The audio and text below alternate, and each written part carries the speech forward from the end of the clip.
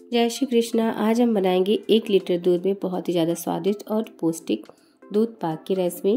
तो चलिए बनाना शुरू करते हैं। यहाँ पे हम लेंगे ड्राई फ्रूट। तो ड्राई फ्रूट अपने कम या ज़्यादा भी ले सकते हैं। यहाँ पे हमने दस बादाम और दस काजू दोनों को पानी में भिगा के रख दिया है। और यहाँ पे लेंगे दो चम्मच चावल। आप कोई भी चावल ले सकते हैं। तो यहाँ पे चावल को धो लें, फिर पानी में भिगा कर रखें। और इधर हम लेंगे मोटे तले की कढ़ाई। थोड़ा सा पानी डालेंगे कि यहाँ पे दूध चिपके ना, इसके लिए थोड़ा सा एक से दो चम्मच पानी डालेंगे और एक लीटर दूध पूरा डाल देंगे। एक लीटर दूध में तीन से चार लोगों के लिए अच्छी तरीके से दूध पाक बन जाता है। तो यहाँ पे गैस को मीडियम फ्लेम पे रखेंगे और इधर जो हमने ड्राई फ्रूट भिगो के रखे थे ना, इन्हें हम पीस लेंगे। आप चाहें तो बादाम का छिलका निकाल लें, यहाँ पे हमने नहीं निकाला है। थोड़ा सा पानी डालेंगे और सबको बारीक पेस्ट बना लेंगे। यकीन माने एक बार अगर आप दूध पाक बनाते हैं ना आपकी फेवरेट डिश हो जाएगी दूध पाक। ड्राई फ्रूट के पेस्ट को पीसने के बाद हम एक बर्तन में निकाल लेते हैं और इधर हम देख लेते हैं दूध में उबाल आया कि नहीं। तो बस लगातार चलाते रहे और ये देखिए, अच्छी तरीके से दूध में उबाल आ गया इसके बाद यहाँ पे गैस को स्लो करेंगे और जो हमने चावल भिगा के रखे थे ना तो इन्हें भी हम यहाँ पे डाल देंगे। यकीन मानिए, बेहद ही आसान है, झटपट और कम से कम चीज़ों से ये रेसिपी बन करके तैयार हो जाती है दूध पाक की। तो यहाँ पे हमने चावल डाल दिया है, सबको एक बार अच्छे से मिला लें कि जैसे नीचे तले में चिपके ना चावल। तो अच्छी तरीके से मिलाने के बाद यहाँ पे हमने जो पेस्ट पीस के रखा था ना ड्राई फ्रूट का, उसे भी डाल देंगे। तो यहाँ पे जार में जो भी थोड़ा सा पेस्ट लगा था तो उसमें पानी डाल के हमने उसे भी निकाल लिया है और सबको डाल दिया है। तो जब आप इस तरीके से ड्राई फ्रूट का पेस्ट डालते हैं ना तो यकीन मानिए बेहद ही ज़्यादा स्वादिष्ट बनती है दूध पाक। केसर के धागे डालेंगे। अगर आपके पास केसर हो तो ज़रूर डालें, इससे इसका स्वाद बहुत ज़्यादा बढ़ जाता है। तो गैस को मीडियम फ्लेम पे रखेंगे, लगातार चलाते रहेंगे और इस तरीके से देखेंगे, जब तक चावल अच्छी तरीके से पक नहीं जाता, तब तक हमें नहीं पकाना है। अगर आपके पास टाइम कम है तो आप इसे ढक दें गैस स्लो कर दें और 10 मिनट के बाद आपका दूध पाक बन करके तैयार हो जाता है। और अगर आपके पास टाइम है तो आप इस तरीके से चलाते ही लगातार और जो भी किनारे में चिपकता है, उसे भी निकालते रहें खुरुच खुरुच के।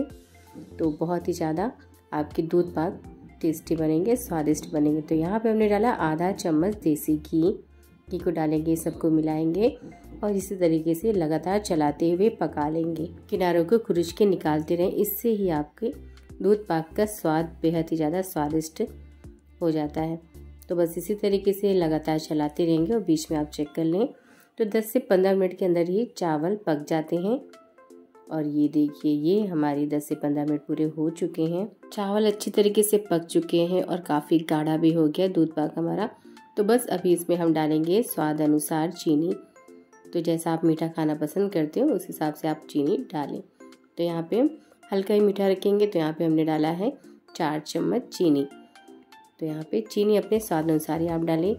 चिरौंजी डालेंगे एक चम्मच तो दूध पाक में आप जब चिरौंजी डालते हो तो इसका फ्लेवर और खिल कर आता है और बहुत ज़्यादा स्वादिष्ट बनता है। साथ ही हम डालेंगे एक चौथाई चम्मच पिसा हुआ इलायची का पाउडर। तो घर में अच्छे तरीके से पीस करके आप जब इलायची डालते हैं ना तो इसका स्वाद बहुत ही ज़्यादा बेहतर आता है।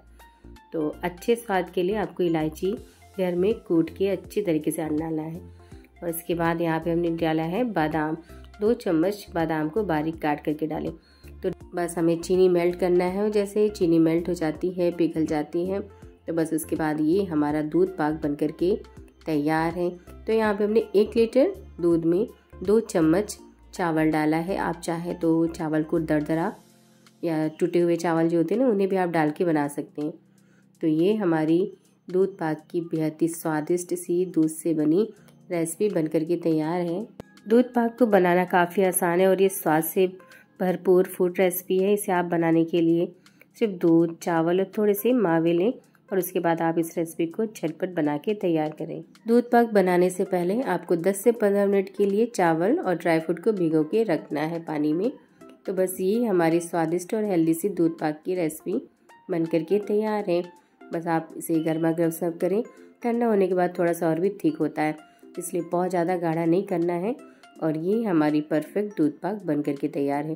गैस बंद कर दें और आप इसे ठंडा या गर्म जैसा खाना पसंद करते हैं, वैसा आप सर्व करें। दूध पाक को सर्व करते समय चरौली बादाम या पिस्ता से सजा के सर्व करें। दूध पाक की रेसिपी आप कभी भी किसी भी फेस्टिवल या त्यौहार में बना सकते हैं या जब भी आपका कुछ मीठा खाने का मन हो तो आप इस तरीके से थोड़े से दूध में आप दूध पाक बना के तैयार करें। मैंने आपके साथ दूध पाक की बहुत ही आसान तरीके से रेसिपी शेयर की है। उम्मीद करती हूँ आपको ज़रूर पसंद आई होगी। अगर आप मेरे चैनल पर नए हैं, अभी तक आपने मेरे चैनल को सब्सक्राइब नहीं किया है तो प्लीज़ मेरे चैनल को सब्सक्राइब कर दें। आपने यहाँ तक मेरा वीडियो देखा है तो ज़रूर आपको पसंद आया होगा। और अगर रेसिपी पसंद आती हो तो इसे शेयर करना ना भूलें। मिलते हैं नेक्स्ट रेसिपी के साथ। तब तक अपना ख्याल रखें थैंक्स फॉर वॉचिंग।